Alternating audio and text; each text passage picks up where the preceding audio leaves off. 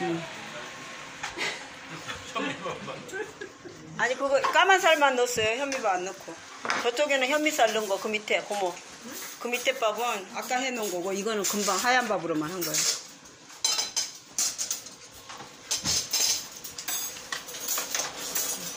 물이 좀 있어야겠다.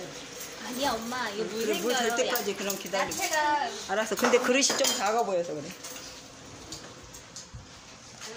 뭘 이렇게 그냥 열심히 뜯어 먹어 얘는. 어? 어? 뭐야? 그거 맛있어? 사람아, 안 씹히면 버려 쓰레기통에다. 사람아, 안 씹히면 버려 갔다가. 그리고 다른 거 먹어. 다른 거 먹어. 그거 버리고. 버려 버려. 하율아 손으로 이걸 먹어. 숟가락으로.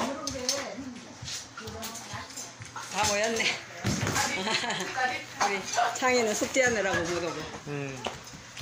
엊그저께 봤으니까. 나중에는 그래도 다 같이 있으면 여기다 다 넣었으니까.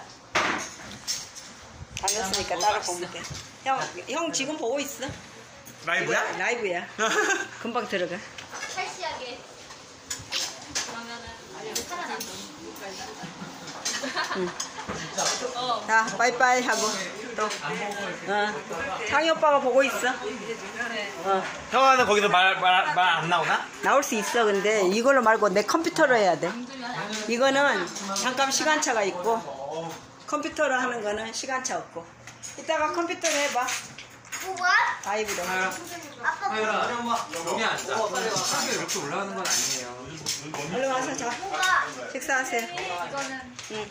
이거 이거 맛있어요. 이거 이거 때문에 이거는 제가 농사지은 호박잎 눈에서 나왔어요. 눈. 쌈싸 잡수라면 쌈싸 잡수라고. 저거 저거 껴주면 되잖아. 이게 너무 멀어서 그냥 접시에다가 이 접시가 그렇게 조그매요?